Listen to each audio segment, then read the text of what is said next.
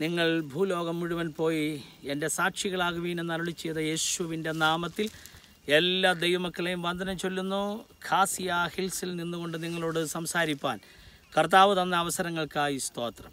ഞാൻ എന്റെ പ്രസംഗവേളയിലൊക്കെ ഖാസിയ ഹിൽസിൽ നടന്ന ഉണർവിനെക്കുറിച്ച് ചില സമയങ്ങളിൽ സംസാരിപ്പാൻ ദൈവം അവസരം നൽകിയിട്ടുണ്ട്.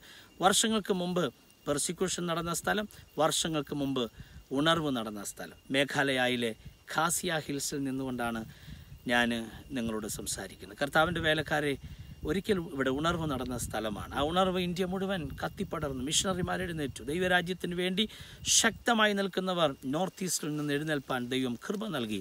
ഞാൻ വിശ്വസിക്കുന്നു ഇത് ഇന്ത്യയുടെ ഉണർവിന്റെ രണ്ടാം സമയമാണ് രണ്ടാം ഘട്ടമാണ്. ഈ ഉണർവിന് ദൈവം നമ്മയും പങ്കാക്കിയിരിക്കുകയാണ് ആയിരക്കണക്കിന് പേർ ഇന്ത്യയുടെ ഉണർവിന് വേണ്ടി ദൈവസന്നതിയിൽ പ്രാർത്ഥിച്ചുകൊണ്ടിരിക്കുന്ന സമയമാണ്.